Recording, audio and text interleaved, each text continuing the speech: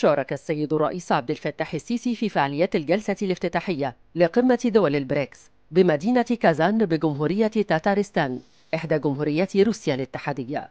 وقمة تجمع البريكس تضم البرازيل روسيا الهند الصين جنوب أفريقيا مصر الإمارات إثيوبيا السعودية إيران. حيث ألقى سيادته كلمة تضمنت تأكيد اعتزاز مصر لمشاركتها الأولى كعضو في تجمع بريكس والحرص الذي توليه لتعزيز الانخراط في آليات عمل دول التجمع.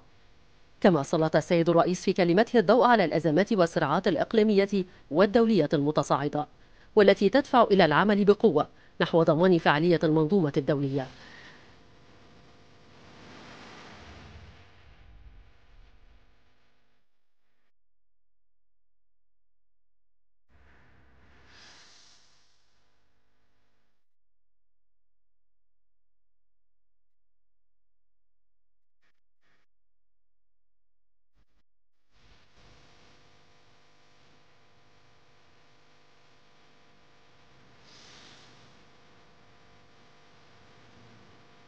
وقد التقى السيد الرئيس عبد الفتاح السيسي مع الرئيس الإيراني مسعود بازشكيان. على هامش قمة تجمع البريكس والمنعقدة بمدينة كازان في روسيا الاتحادية.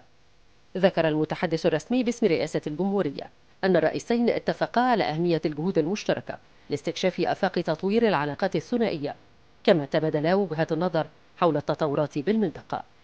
حيث أكد السيد الرئيس أهمية نزع فتيل التوتر الإقليمي وتفادي تصعيد غير المحسوب. الذي قد يدفع المنطقة برمتها إلى مواجهات خطيرة ذات تداعيات سلبية على الأمن والاستقرار الإقليمي. وقد استعرض السيد الرئيس في ذات السياق الجهود والاتصالات المصرية المكثفة لمحاولة دفع مسار التهدئة والتوصل لوقف إطلاق النار في غزة ولبنان. مؤكدا ضرورة حشد الجهود الدولية لحث جميع الأطراف على التعامل بإيجابية مع المساعي الرامية لاستعادة التهدئة بالمنطقة وبما يسمح بمعالجة الكارثة الإنسانية التي يعيشها المدنيون في فلسطين ولبنان. كما التقى السيد الرئيس عبد الفتاح السيسي مع الرئيس الصيني شين شين بينغ وذلك على هامش قمة تجمع البريكس والمنعقدة بمدينة كازان بجمهورية روسيا الاتحادية. وقد استعرض الرئيسان مجمل العلاقات الثنائية وسبل تطويرها في مختلف المجالات.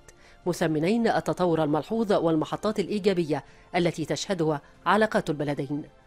وقد أعرب السيد الرئيس عن تطلع مصر لمواصلة التعاون المثمر مع الصين في العديد من المجالات والمشروعات الاقتصادية الكبرى إلى جانب بحث التطورات الإقليمية والدولية وعلى رأسها الأوضاع في الشرق الأوسط وأهمية الوصول إلى حل دائم وشامل للقضية الفلسطينية.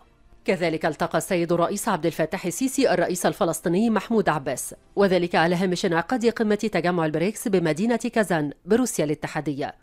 تناول اللقاء بحث مجمل القضايا وجهود وقف الحرب الإسرائيلية على قطاع غزة.